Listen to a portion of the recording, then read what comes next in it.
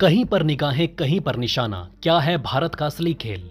जी twenty में भारत ने हवा की तरह उड़ा दिए 2700 करोड़। क्या हुआ भारत को फ़ायदा? यह है भारत का असली टारगेट, जिसे देखकर डरे अमेरिका, चीन और पाकिस्तान। किस धमाके के इंतज़ाम में है भारत? इस बार उड़ेंगे पूरे यूरोप के चीथड़े। भारत के आगे मांगनी होगी माफ़ी। कैसे 55 देशों का सरताज बनने जा रहा है भारत? पूरे यूरोप की जेब खाली करवा लेगा भारत। दोस्तों, आज भारत इस मुकाम पर पहुँच चुका है जिसके पीछे हज़ारों वर्ष की बहुत बड़ी यात्रा जुड़ी है। अनंत अनुभव जुड़े हैं। हमने हज़ारों वर्षों का उत्कर्ष और वैभव भी देखा है। हमने विश्व के सबसे अंधकारमय दौर को देखा है। हमने सदियों की गुलामी और अंधकार को जीने के लिए मजबूरी भरे दिन भी देखे हैं। फिर भी भारत अपनी विकास यात्रा में रुका नहीं। भारत जी ट्वेंटी की तैयारियों में व्यस्त है। राजधानी दिल्ली को दुल्हन की तरह सजाया गया। दिल्ली में 9 और 10 सितंबर को जी ट्वेंटी के मेहमान जुटने वाले हैं। जी ट्वेंटी सम्मेलन के महा आयोजन को लेकर दो दिनों तक दिल्ली में कई प्रतिबंध लगाए गए हैं। जी ट्वेंटी को लेकर दिल्ली में कई सेवाओं, रेल, मेट्रो, बस, ऑफ़िस, बाज़ार बंद रहेंगे। जी ट्वेंटी समिट की मेजबानी में भारत करोड़ों रुपए खर्च कर रहा है, लेकिन लोगों के मन में इसे लेकर कई सवाल भी हैं। ऐसे में भारत में जी ट्वेंटी को लेकर हलचल बहुत तेज हो गई। भारत ने इस पर 2700 करोड़ रुपए फूक डाले हैं। लेकिन अभी भी बहुत से लोगों को इसके फ़ायदे के बारे में नहीं पता कि इतना खर्च करके भारत को क्या मिलेगा। आइए बताते हैं भारत का सबसे बड़ा टारगेट क्या है। अगर ऐसा हो गया तो गजब हो ही जाएगा। देखिए भारत जी ट्वेंटी में ग्लोबल साउथ के देशों के मुद्दों को भी उठाकर इस पूरे क्षेत्र का नेतृत्व हासिल करना चाहता है। जी ट्वेंटी के मंच पर आर्थिक विकास, पर्यावरण, स्वास्थ्य, शिक्षा और कारोबार के क्षेत्र में सहयोग बढ़ाने पर भी चर्चा होगी। पीएम मोदी को भरोसा है कि भारत दो तक विकसित राष्ट्र होगा। इसके साथ ही जी ट्वेंटी में शामिल होने के लिए भारत ने उन नौ देशों के नेताओं को भी आमंत्रित किया है, जो अभी तक इस समूह का हिस्सा नहीं है। अब भारत के दूरदर्शी नज़रिए को समझिए।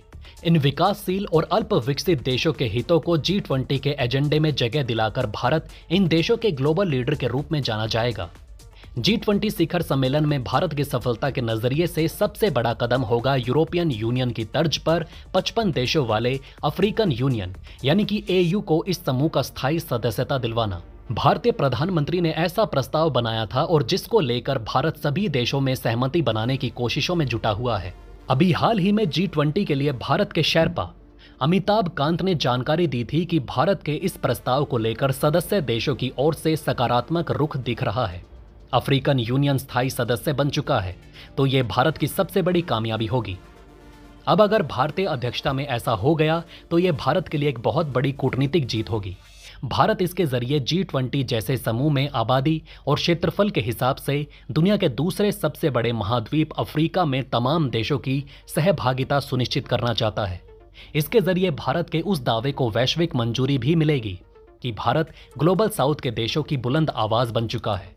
इसके साथ अफ्रीका के 50 से ज़्यादा देशों में भारत को लेकर भरोसा और मज़बूत होगा। अफ्रीका महाद्वीप में भारतीय हितों का संरक्षण भी सुनिश्चित करने में मदद मिलेगी। इसके अलावा दुनिया के 100 से ज़्यादा गरीब और अल्प विकसित देशों में भारत के प्रति नज़रिए में काफ़ी बदलाव देखने को मिलेगा। ऐसे में तमाम वैश्विक मुद्दों पर अगर भारत अपनी अध्यक्षता में विकासशील और अल्प विकसित देशों के हितों को जी ट्वेंटी के एजेंडे में जगह दिलाने में कामयाब होता है तो यह बड़ी कामयाबी होगी।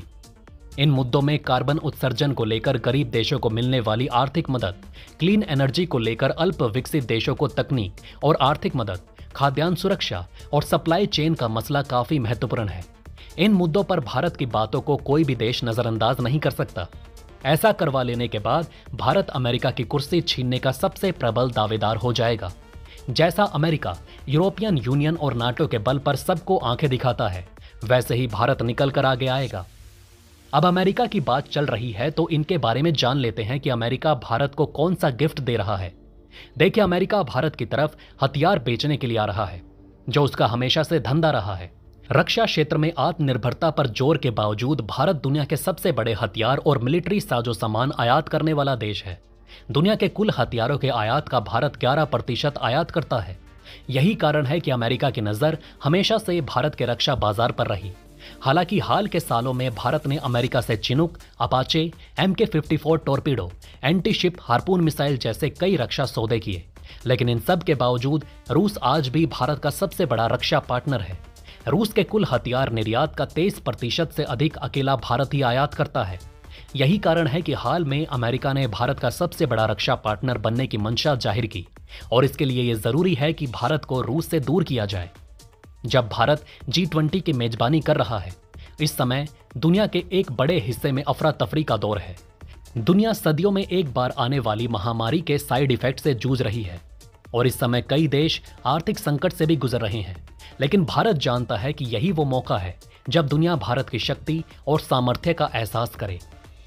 इसे हम बिज़नेस पॉइंट ऑफ़ व्यू से एक बड़ा फ़ायदा देख सकते हैं। भारत की क्रेडिबिलिटी बढ़ने से इंटरनेशनल इन्वेस्टरों का भारत को लेकर और सकारात्मक रुख बनेगा। जैसा कि आप जानते हैं कि चाइना, जो कि एक मैन्युफैक्चरिंग हब है, वहाँ से कई देश अपनी कंपनियों को निकालने की तैयारी कर रहे हैं। ऐसे में अगर ऐसा होता है तो उस स्थिति में भारत उन सभी के लिए एक अच्छा डेस्टिनेशन हो सकता है। भारत में विदेशी निवेश लगातार बढ़ेगा। जी ट्वेंटी बैठक की मेजबानी कर रहे भारत को इस समिट से काफ़ी फ़ायदा मिलने वाला है। देश की इकोनॉमी को बूस्ट मिलेगा। जिसका फ़ायदा आम लोगों को भी मिलेगा। लॉन्ग टर्म के साथ साथ शॉर्ट टर्म में भी फ़ायदे मिलने वाले हैं। जी ट्वेंटी के आयोजन से राजधानी दिल्ली समेत एनसीआर रीजन में होटल इंडस्ट्री से लेकर रियल एस्टेट को बूस्ट मिलेगा। जी ट्वेंटी समिट के देश के भीतर कई तरह के निवेश आने की उम्मीद है। जी ट्वेंटी समिट का आयोजन भारत में होने से कई देशों की इकोनॉमी को लॉन्ग टर्म और शॉर्ट टर्म दोनों में फ़ायदा मिलेगा और मिल भी रहा है। दिल्ली के लग्जरी रियल एस्टेट सेगमेंट को इस बैठक से काफ़ी बढ़ावा मिला है। रेजिडेंशियल के अलावा कमर्शियल प्रॉपर्टी की भी डिमांड बढ़ रही है। जी ट्वेंटी की वजह से होटल इंडस्ट्री को सबसे ज़्यादा फ़ायदा मिला। राजधानी दिल्ली के साथ साथ एनसीआर के होटल के कमरों की बुकिंग फुल है। इतना ही नहीं, कोरोना और लॉकडाउन के दौरान जो टूरिज़्म सेक्टर ठप पड़ गया था जी ट्वेंटी समिट से उसे बड़ा बूस्ट मिला है। जी ट्वेंटी समिट से मेक इन इंडिया प्रोजेक्ट को बढ़ावा मिला है। दुनिया भर के देशों में भारत में बने उत्पादों की पहुँच बढ़ेगी। दुनिया के 20 ताकतवर देशों के द्वारा मिलकर बनाए गए इस जी ट्वेंटी की ताकत का अंदाज़ा आप इसी बात से लगा सकते हैं कि इसके सदस्य देशों के पास कुल मिलाकर दुनिया की 80 फ़ीसदी जीडीपी है। दुनिया की 60 फ़ीसदी आबादी इन देशों के पास है और पिचहत्तर फ़ीसदी ग्लोबल ट्रेन जी ट्वेंटी देशों के पास है। दुनिया के कुल उत्पादन में जी ट्वेंटी देशों की हिस्सेदारी पिचासी फ़ीसदी की है। ज़ाहिर है कि जब भारत की ज़मीन पर दुनिया की महाशक्तियों का मिलन होगा तो मेजबान देश को इसका फ़ायदा होगा। भारत के लिए यह लम्हा ऐतिहासिक होने वाला है। जी ट्वेंटी की मेजबानी कर दुनिया में भारत की आवाज़ बुलंद होगी। दोस्तों, अब आप हमें कमेंट सेक्शन में बताएँ कि अमेरिका के इस खुलासे से आप क्या समझते हैं? और ये भी बता दीजिएगा कि दुश्मन के खिलाफ भारत की रणनीति कितनी कारगर साबित होगी। और बिना जय हिंद लिखे कहीं मत जाइएगा। अगर आपको हमारी कोशिश अच्छी लगी हो तो प्लीज़ लाइक करें इस वीडियो को और इसी तरह की और जानकारी पाने के लिए सब्सक्राइब करें हमारे चैनल को। जितना हो सके, इस वीडियो को शेयर करना ना भूलें। धन्यवाद।